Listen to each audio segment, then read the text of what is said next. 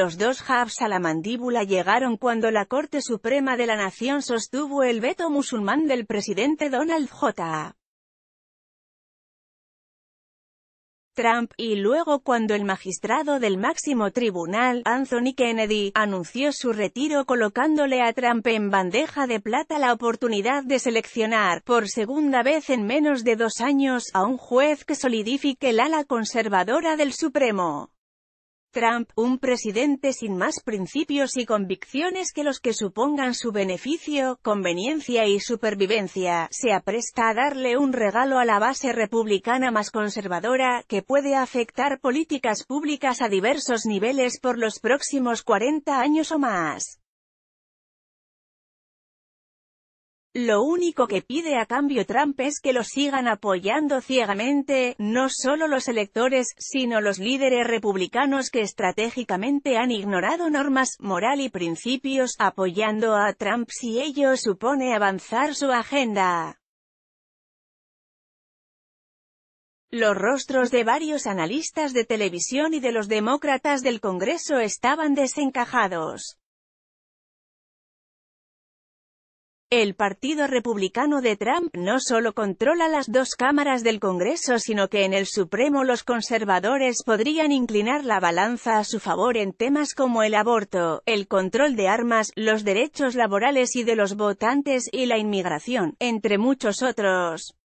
Esto ocurre cuando entramos en la segunda mitad de este año electoral y cuando esas elecciones determinarán si los republicanos siguen controlando las dos cámaras del Congreso, o si al menos una pasa a manos demócratas para tratar de establecer algún tipo de balance legislativo que dificulte el avance de políticas públicas detrimentales. No obstante, el Partido Demócrata también se encuentra en una encrucijada generacional e ideológica entre facciones más identificadas con la clase dirigente, y otro sector que siente que tienen que apelar a ideas más progresistas y proponer nuevos rostros para poder entusiasmar a su base como lo hizo Trump con la suya, aunque esbozando ideas extremistas, particularmente en inmigración, tema que ahora vuelve a explotar para seguir controlando el Congreso.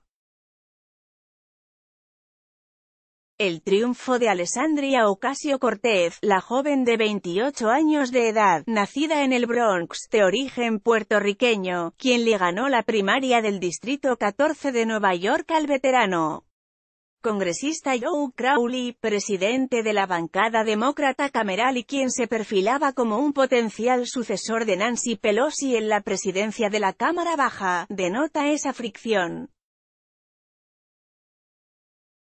No se sabe si Ocasio ganará la elección en noviembre, pero su logro sin duda envía un contundente mensaje a la dirigencia del Partido Demócrata. De hecho, en su ronda de entrevista resaltó uno de sus comentarios al decir que reaccionar a cada tuit y locura de Trump no es una estrategia política en sí misma. Como votante latina, eso resuena conmigo porque en 2016 la estrategia demócrata consistió en rogar que el extremismo y la retórica de Trump generaran tal repugnancia entre diversos sectores de votantes que acudirían en masa a las urnas para evitar su ascenso. Y si bien sabemos que Trump perdió el voto popular por casi 3 millones de sufragios en este país, lamentablemente, el voto popular no elige presidentes. El mensaje fue claro, quien es el candidato o la candidata cuenta, apelar a sectores de votantes importantes en elecciones cerradas no puede ser una estrategia de último minuto, a ese voto hay que cultivarlo y escucharlo, y rogar para que las cosas ocurran no es una estrategia política ganadora. A meses de una elección intermedia y a dos años de la presidencial de 2020 queda por ver si no se repiten los errores del 2016. Por lo pronto, veo una luz al final del túnel.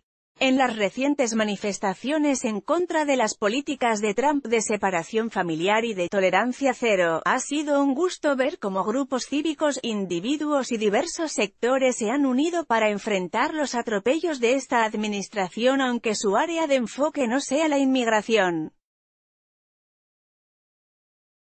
Y me parece que en eso estriba la presión por el cambio. En entender que las elecciones tienen serias consecuencias y que por esa razón no hay que dejar nada a la suerte o en manos de otros. En entender que hay diversos sectores y asuntos bajo ataque y que para dar la pelea, hay que unir esfuerzos, hay que sacudirse el marasmo. Las elecciones de noviembre de 2018 serán la primera prueba de fuego para determinar si hemos aprendido algo de la dura lección de los pasados casi dos años. Hay que transformar la indignación en votos. Maribel Hastings es asesora ejecutiva de America's Voice.